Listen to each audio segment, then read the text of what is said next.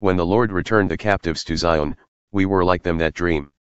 Then was our mouth filled with laughter, and our tongue with singing. Then said they among the heathen, The Lord hath done great things for them. The Lord hath done great things for us, whereof we are glad. Turn back our captivity, O Lord, as the streams in the south. They that sow in tears shall reap in joy. He that goeth forth and weepeth, bearing precious seed, shall doubtless come again with rejoicing, bringing his sheaves with him.